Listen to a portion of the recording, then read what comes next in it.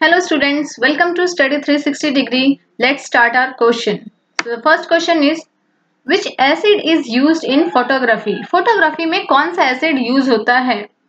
So oxalic acid जो है जिसे हम फेरस ऑक्जेलेट भी कहते हैं इसका यूज़ जो है फ़ोटो को क्लीन करने के लिए होता है फॉर्मिक एसिड जो है ये चीटियों में पाई जाती है सिट्रिक एसिड लेमन में और एसिडिक एसिड जो है ये विनेगर में पाया जाता है।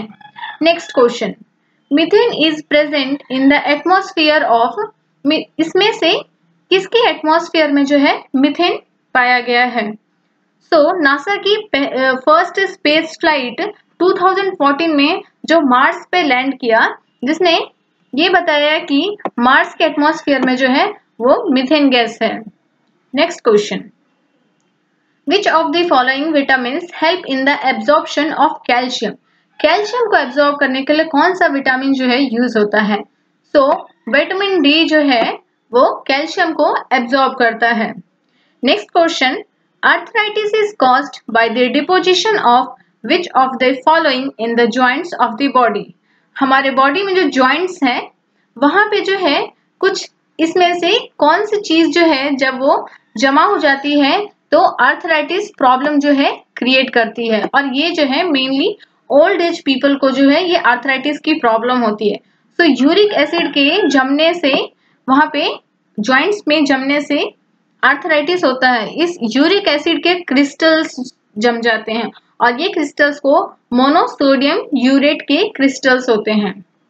Next question prothrombin responsible for clotting of blood is released by यहाँ पे चार ऑप्शन है सो so, प्रोथ्रोम्बिन जिसके वजह से ब्लड क्लॉटिंग होती है वो जो है ब्लड प्लेटलेट्स रिलीज़ करता है। Next question the slow growth of the human body is cause due to the deficiency of which of the following हमारे बॉडी का स्लो ग्रोथ होना ये किस चीज़ की डेफिशिएंसी किस चीज़ की कमी के कारण जो है हमारे बॉडी में ऐसा होता है। सो so, प्रोटीन की कमी से ऐसा होता है। Next question. Charles Darwin proposed his theory in which one of his books? Charles Darwin की सबसे फ़ेमस थ्योरी जो है थ्योरी ऑफ़ इवोल्यूशन वो उन्होंने अपने the origin of species book में दी थी और ये बुक जो है 1859 में पब्लिश की गई थी next question the important metal used with iron to make it rust free iron के साथ हम कौन सा इंपॉर्टेंट मेटल जो है यूज़ करते हैं ताकि उसमें जंग ना लगे? तो so, क्रोमियम जो है ये आयरन के साथ यूज़ होता है और इससे जो है जंग नहीं लगता है।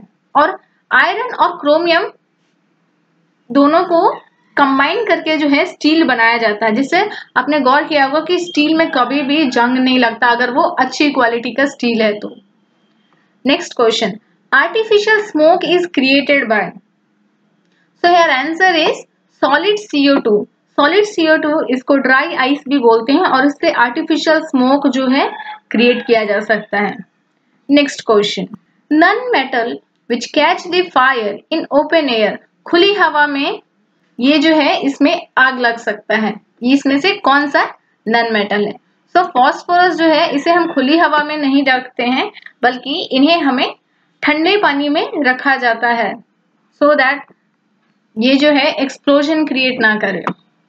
Next question oil of vitriol is the other name of oil of vitriol sulphuric acid को बोलते हैं H2SO4 यहाँ पे ये सल्फ्यूरिक एसिड है। इसे किंग ऑफ़ एसिड्स भी कहा जाता है।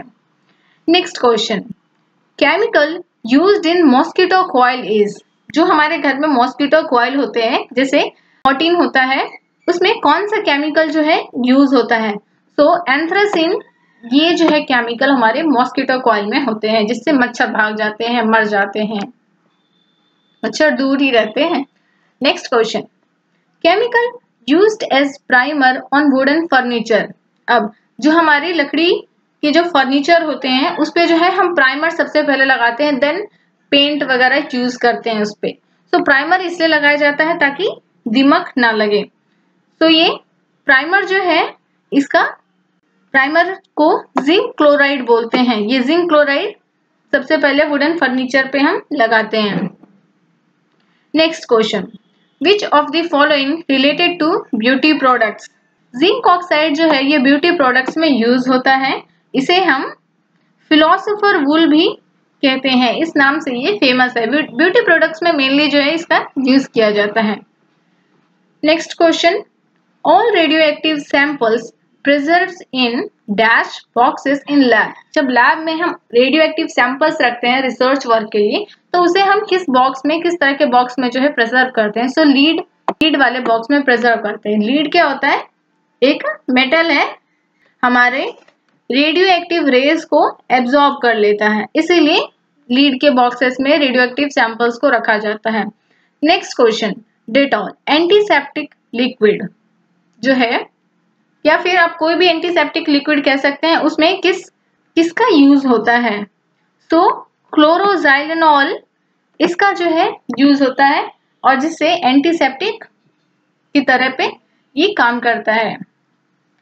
Next question discovery of atom bomb is related to atom bomb की डिस्कवरी किसने की थी? सो रॉबर्ट ओपन जे हाइमर ने एटम बॉम्ब की डिस्कवरी की थी।